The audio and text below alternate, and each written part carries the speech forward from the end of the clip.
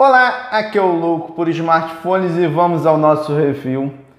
Elefone A5, primeiro P60 aqui na comunidade, 4 GB de RAM, 64 GB de armazenamento, um espetáculo de aparelho. Mas antes da gente começar, se você não é inscrito aqui no canal da comunidade, se inscreve, ativa as notificações, sapeca logo o like que você vai gostar do vídeo e na descrição desse vídeo vamos ter todos os links da comunidade do aparelho também, tudo vai estar na descrição. Cupons exclusivos do WhatsApp, tu, vídeo tutorial e os, e os links da nossa comunidade no Telegram.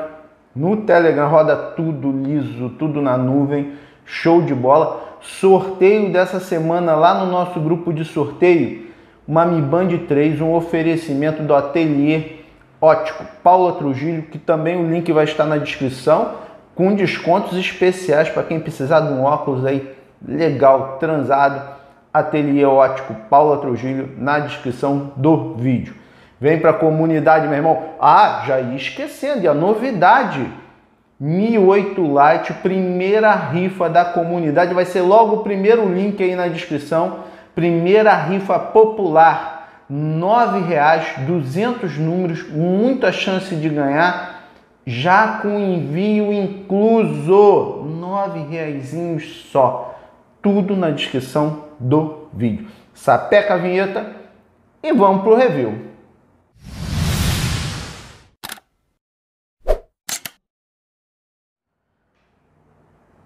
Bom, galera, falar um pouquinho desse aparelho. Primeiro, falar da aparência dele. Bem legal. Um aparelho é, dessa segunda linha chinesa, mais bonito que eu já tive em mãos, mais bem construído.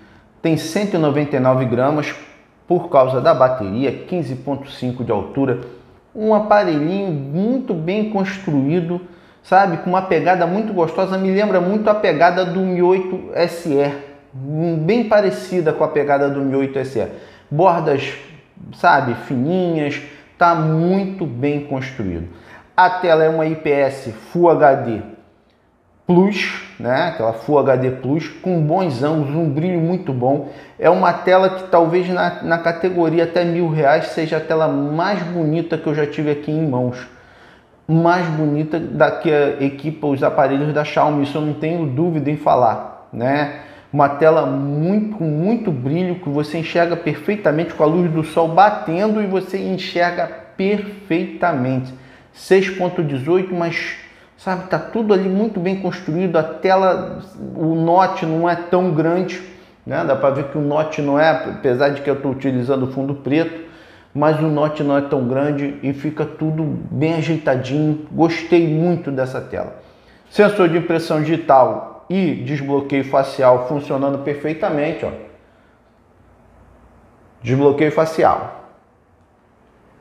Sensor de impressão digital. Muito rápido, muito rápido para a categoria de aparelho, a nível de, de, de, empresas como uma Xiaomi, por exemplo, nessa faixa de preço.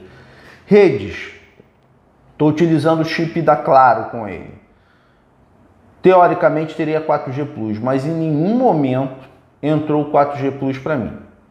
Só ficou 4G rápido, Wi-Fi ok, sem, sem maiores problemas, muito ao nível do que a gente tem nessa faixa de preço. Bluetooth também funcionando sem problema nenhum. GPS, nós fizemos o teste de GPS aqui na comunidade, foi muito bem. Foi o primeiro P60 que nós tivemos aqui, né? Então nós tínhamos que testar e, se e foi muito bem no teste, inclusive em segundo plano, trabalhando em segundo plano sem qualquer tipo de interrupção.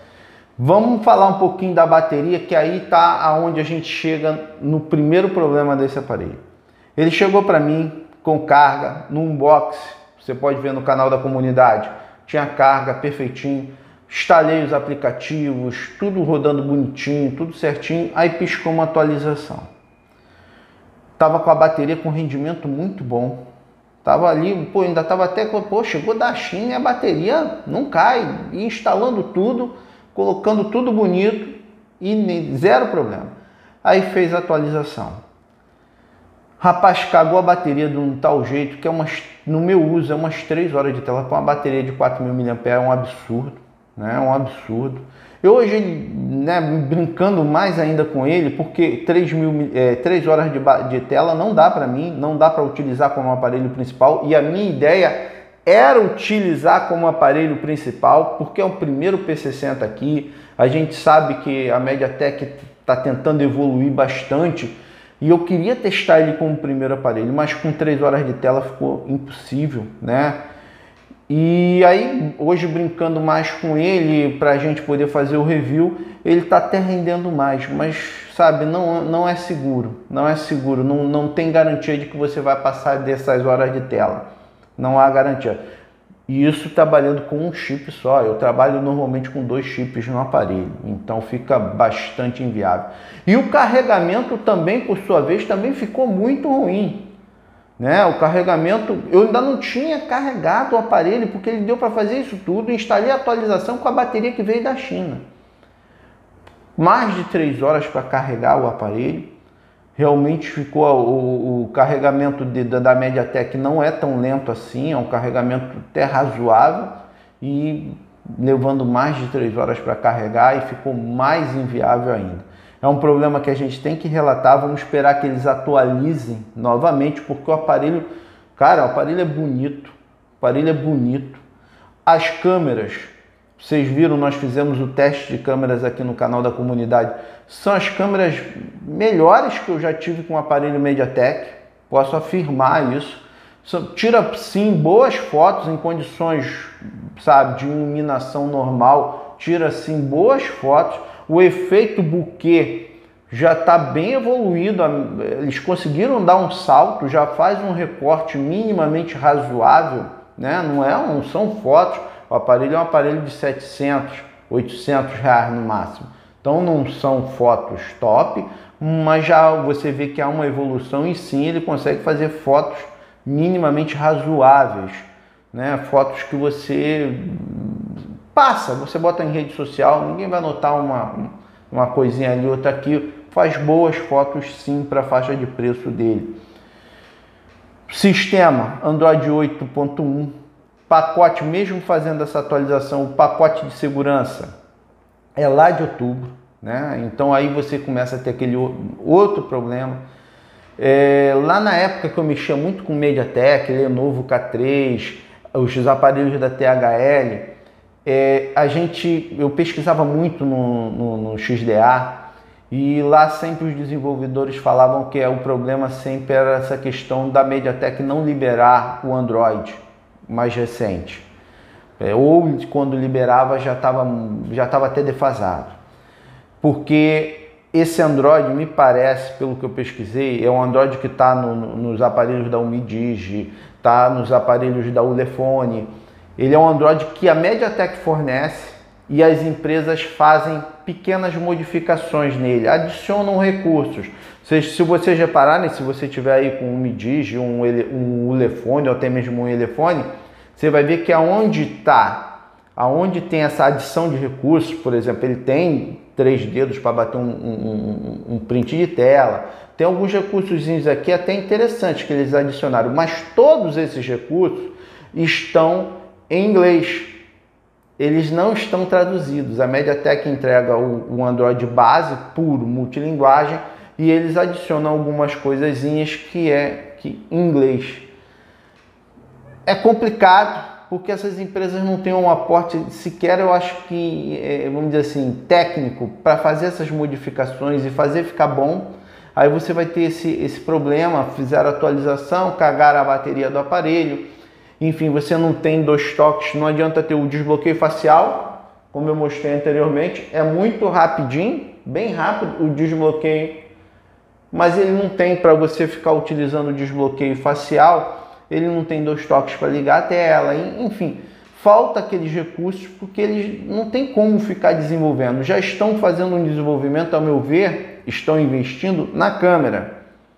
Isso você vê que já o, o, aplicativo já é diferente, tem mais recursos, mas não tem como desenvolver um Android, sabe, do zero e fazer um Android totalmente novo e com muitos recursos. Eu sempre coloco, aí já para a gente chegar a uma conclusão a respeito do aparelho, eu sempre coloco que a solução para essas empresas porque elas estão fazendo um hardware bem legal, o aparelho é bem construído, você sente firmeza na construção, não, não range, os botões estão firmes, sabe? Estão fazendo um hardware bem legal. O P60 é rápido, tem um rendimento, um rendimento bem legal. Roda, sabe, PUBG, Marvel, numa boa, sem problema nenhum. Roda tudo bem rapidinho. Só que aí você sente que falta ali o Android tá, sabe, aqueles recursos que uma MIUI tem. E aí por isso é que a Xiaomi domina nessa faixa de preço, porque a MIUI te entrega tudo, muitos recursos, muito atualizações de segurança, tudo na MIUI, enquanto aí você tem nesse aparelho uma construção, uma tela que, a meu ver, mais bonita do que a, a, a, as telas da Xiaomi nessa faixa de preço um aparelho, inclusive, mais bonito do que os aparelhos da Xiaomi nessa faixa de preço, mas aí não te entrega um sistema condizente. Para a gente encerrar, louquinho, louquinho, eu quero comprar, louquinho. De minha parte, eu não aconselho por causa do Android que está rodando aqui. A minha única questão com essas fabricantes agora é essa justamente é o do software, porque o hardware existe para rodar o software.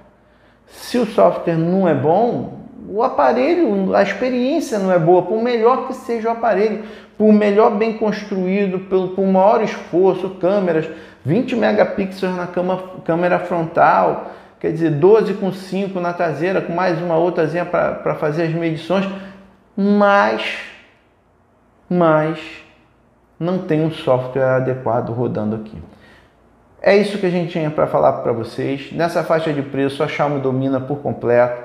Eu vejo muito, eu mesmo tinha muita expectativa nesse Umidigi S3, mas sinceramente é complicado. Né? Só se a Umidigi quiser enviar para a gente analisar, para ver que eles estão, sabe? Mas a priori, por esse daqui, que utiliza um processador parecido, né? O S3 é o P70 já, um rendimento que deve ser melhor ainda, e esse tem um rendimento bom, quase encostado no 660, mas aí a gente fica nessa dúvida e o software.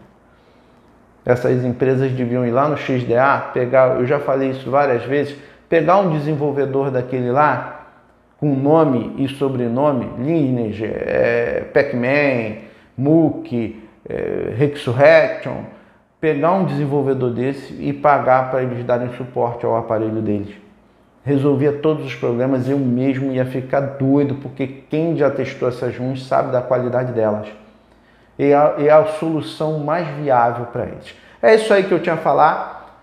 Todos os links na descrição. Olha a nossa rifa lá, R$ reais com o frete incluso, 1008 Lite, 4 GB de RAM, 64 GB de armazenamento. Tá muito bom o valor. É rifa popular mesmo, porque aqui é uma comunidade, tem que ser desse jeito né? Todos os links na descrição e a Mi Band 3 no oferecimento do ateliê Paula. Ótico Paula Trujillo, que também vai estar aí o, o Instagram aí na descrição do vídeo. Pode encomendar lá, pode pedir pelo correio que eu garanto. Um abraço a todos, fiquem com Deus e até a próxima.